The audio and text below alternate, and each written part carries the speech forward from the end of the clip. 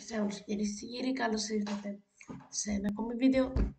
Και σήμερα θα μιλήσουμε για τη νέα γραμμή που θα πηγαίνει στην Κρήτη του Super Z. Ε, κατά πρώτον θα ρωτήσω τώρα γιατί, αφού έχει ήδη γραμμή προγραμματισμένη μέχρι τις 3 ε, Οκτωβρίου ε, από, ε, βόρεια, στη, από τη Θεσσαλονίκη που συνδέει τις, ε, τις Ποράδες εκεί, Σκιάθο αλώνεις και σκύρο.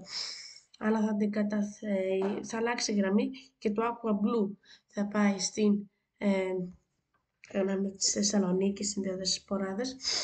Κάτι που προφανώς θα αλλάξει πάρα πολλά πράγματα, γιατί θα το κάνεις σε λιγότερη ώρα. Πάντως πριν συνεχίσουμε, θα ήθελα να σας ευχαριστήσω για τα πολλά like στο βίντεο με τον solo της Blue Star Ferries. Ωραία και κύριοι είμαστε πίσω. Και πιο πιθανόν είναι να η γραμμή να εκτελεστεί από το Ηράκλειο προς τη Σαντορίνη. Ε, και όχι από το Ρέθμο προς τη Σαντορίνη, γιατί είναι και τα δύο ενδεχόμενα ανοιχτά. Εγώ πιστεύω πως θα γίνει από το Ηράκλειο, γιατί πιστεύω επίσης ότι έχει πιο πολλούς τουρίστες.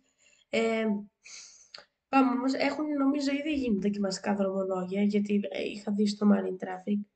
Δεν ξέρω κατά πόσο αν είναι δοκιμαστικά και αν όχι. Ε, αλλά αυτά είναι τα νέα.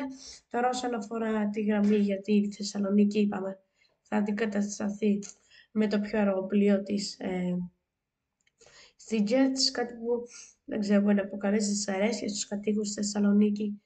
Δεν ξέρω. Πάντως ε, όλα αλλάζουν, έτσι είναι η ναυτιλία.